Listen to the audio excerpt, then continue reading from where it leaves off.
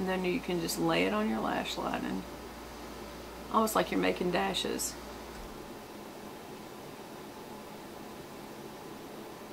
Not almost like you are making dashes. You're just connecting them. And I'm going to go a little further in.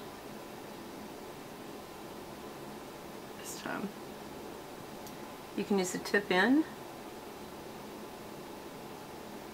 to draw when it um, skips. And it actually is a pin, so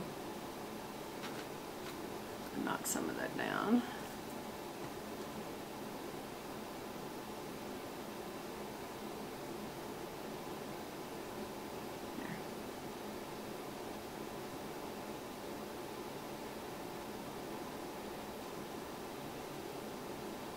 Some reason, it always looks a little better on that side. And I think it's because I'm right-handed. When you're working on this side versus that side where you can pull it, it just pulls a little nicer and more taut. That's why I think it looks so much better when you're going to the opposite side. You would think it'd be the opposite of that because it's like, well, but it's my right hand, so it would probably be easier. It isn't. It's actually harder. But because that's the hand that's, for most people, unless you're left-handed or ambidextrous, more coordinated, then that's the only hand you really can use for steadiness. My little eye right there is so sore, and it's because I have just been, my eyes, allergies has just been really bothering me lately. My eyes have just been really, like, annoying me. Okay, I feel like I have a little something in my eye. I do, I see it. So I'm just tap my finger right and got it, get it. Got it. Also, there's some fallout. So what are you going to use? But a dual fiber, dual fiber brush, like that, meaning it's dense on the bottom and light on the top. And that's the way you flick stuff off your face. I see a little bit of fallout here. And it's usually on either side of your nose, right here in the crux of your nose under your eyes.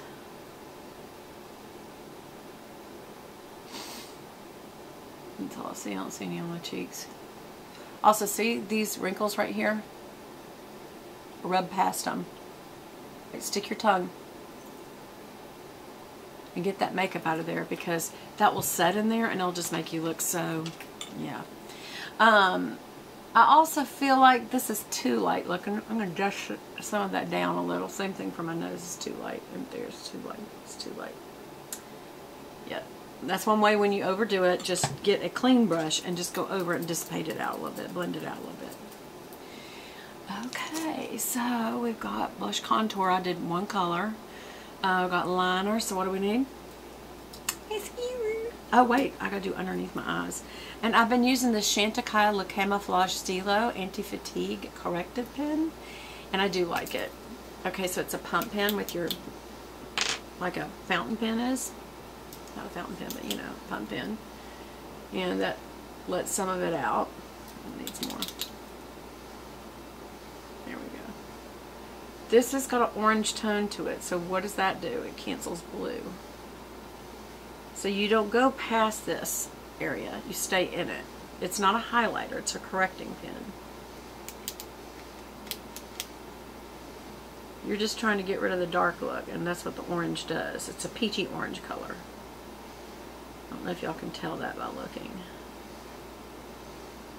I'm having to, I'm dangerously close to my eye makeup. I should have done this right before. There. Now, because the whole point of the fact that you're putting this on isn't to highlight but to camouflage, then um, what you want to do is dot this. This isn't, I mean, you can smooth it a little. Let's, I'll smooth it a little bit just to get it where I want it.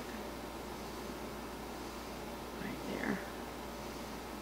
But then um, just blend out the edge. But then I'm just going to dot it. And all you're doing when you dot it is taking some back off. And that's as much as you're going to do to blend it. And even use a different finger now and just do the same thing, like I'm blotting it. Okay. And that's the difference.